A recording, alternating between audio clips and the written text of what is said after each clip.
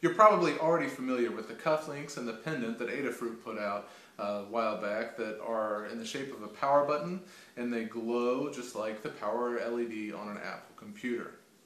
They were very elegant, they looked great, but they didn't really convey my state of mind. So, I made my own.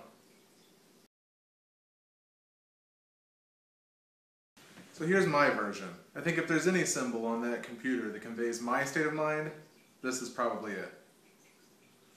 Okay, seriously though, this was just an afternoon project I made so that I'd have something to show off at the Maker Faire in New York that I'm going to this weekend. This top part is the lid to a can of glow-in-the-dark spray paint that I cut in half and put some tape on to get the swirly effect. Inside the 3D printed enclosure here is an Adafruit NeoPixel ring and an Adafruit trinket.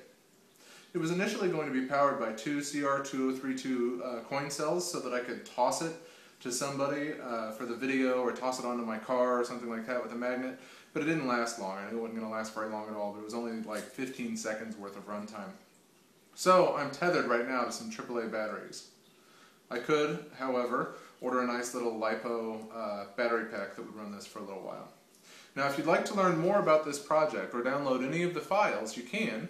You have to look down in the description for the EE Times project page. Alright? I'll see you at Maker Faire.